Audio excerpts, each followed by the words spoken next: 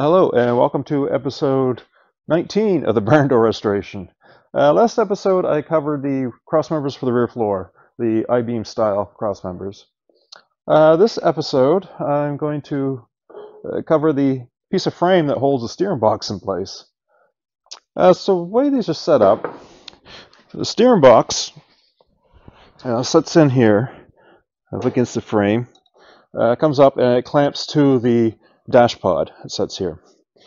And the way it mounts, has this cast iron bracket, and it slides over the steering box and has two bolts up go up through the clamp it, and five bolts that bolt to the frame. The steering box is very similar to the uh, the later split window buses, except it turns backwards. The geometry for the steering linkages are different on these. So the frame that was in this was in very bad shape. Uh, this is it here. And uh, it sets in right about there. Um, it welds to this support, which is, supports the pedals. And it welds into a bracket in the front here, which holds the front valance. Yeah, this one was in very poor shape. Um, in fact, when I was moving the bus around under its own power, I had a wood clamp clamping it in here so the box wouldn't roll around when I was trying to steer.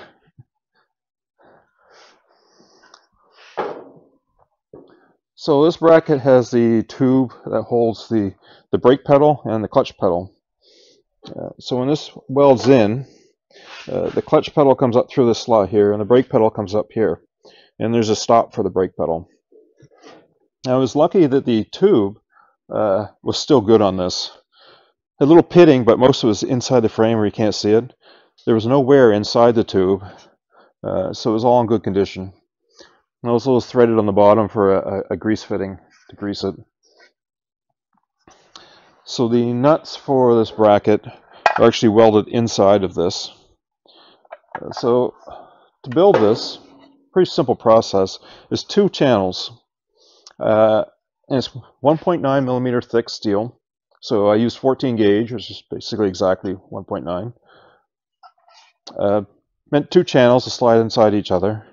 Uh, welded the nuts on the inside uh, for the bracket. And then I welded this tube, I tacked this tube in place.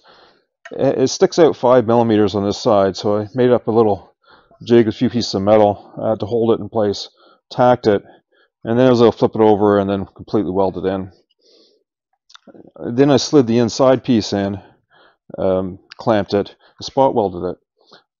I didn't use my spot welder. I used a TIG welder for it. Uh, it was mentioned that uh, using a TIG welder to spot weld actually works quite well. Uh, so I thought I'd try it out. The other thing is I was planning on ordering some, some copper to make uh, custom electrodes for my spot welder, and I never got around to ordering them. so I tried out the TIG.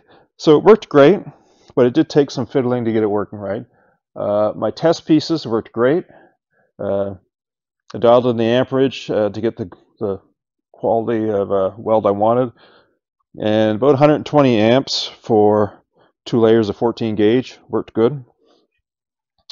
Uh, when I went to weld this, the first four spot welds went perfect. And uh, then I had an issue with some spots where it was uh, blowing through. It was actually punching a hole in the top layer instead of welding. And a few different things were happening. One, if there was any mill scale at all, uh, it would sometimes cause an issue, sometimes not. So I made sure I cleaned all that off. Uh, the other issue, if the metal needs to be in contact, the two layers. Uh, so if the angle of this bend was off just a hair and I was clamped on the outside edge, it left a slight air gap between the two layers where I was trying to weld, and I think it was not transferring the heat properly. So I had to be very careful to make sure those layers are clamped tight together. Uh, also, I didn't realize I had run out of argon in my tank, which did not help things at all. I was able to turn the flow up and get the rest of it going, but uh, so it's a process that works. Uh, just this first time I've done it, so had a little some issues with it, but uh, I think in the future, I'll, there's a few areas I'm going to use that same technique with the TIG. So I'm happy with how this turns out. It looks quite original. Uh, there's a lot of little details to it. It's a pretty simple part, but it seemed like there's it took longer than I expected. Uh, so another thing I wanted to cover, I think it was in the comments, uh, I was asked uh, if it's cheaper to build your own parts. Uh, short answer is no, it's not cheaper. Um, when I started this project, one of the things I wanted to do was build as many parts as I possibly could myself. And that's part of the reason is I get a huge amount of satisfaction creating this. Um, I do not get satisfaction from getting replacement metal in the mail. I like doing the work. It's about the journey, the process, building the parts, the challenge, uh, you know, trying to figure out how to assemble stuff and put it together and make it work correctly. That's what I enjoy. Now, in the beginning, when I started this, I had to do a little bit of work to justify building my parts instead of buying them. Uh, for instance, a brake big enough to build these parts costs more than all the parts. So I, I couldn't justify that. Um, and that's why I built my own brake. That's why I buy a cheap bead roller, and modified it. that's why I got other cheap tools and I've, you know, figured out how to make them work for me or modify them to make them work properly. Uh, because the tooling is so expensive. So uh, yeah, if you're going to build your own parts, you do it because you really enjoy the process, or you want a perfect piece. Uh, maybe you can't get; it's not available. There's a lot of good quality parts out there. They're not necessarily easy to find. You have to shop around for them, and a lot of parts are built uh, to fit multiple years these barn doors changed a lot through the years.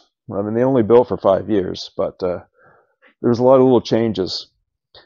A lot of the parts are will fit, uh, but they're not quite correct.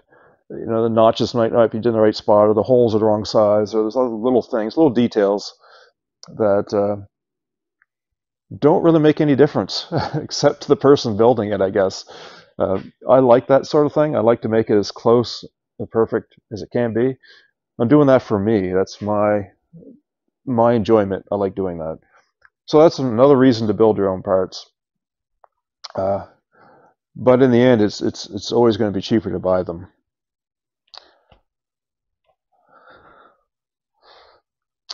Uh, I guess that's about it for this episode.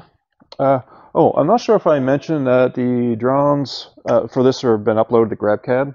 So it's a Nova Scotia barn door uh, on GrabCAD. Uh, there'll be a link in the description, maybe.